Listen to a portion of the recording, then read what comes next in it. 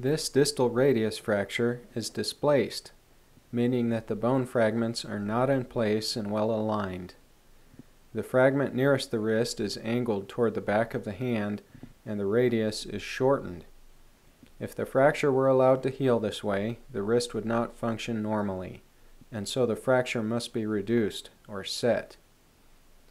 Pushing and pulling on a broken bone can be painful, and so some kind of anesthesia should be provided. One method is to inject a local anesthetic such as lidocaine into the fracture site. This is known as a hematoma block. The bone fragments can now be manipulated without causing so much pain. Traction is used to pull the radius out to length. The angled fragments can then be pushed into alignment with the rest of the radius. A cast or splint is applied to immobilize the fracture so it can heal. The cast is molded in such a way as to hold the fragments in place.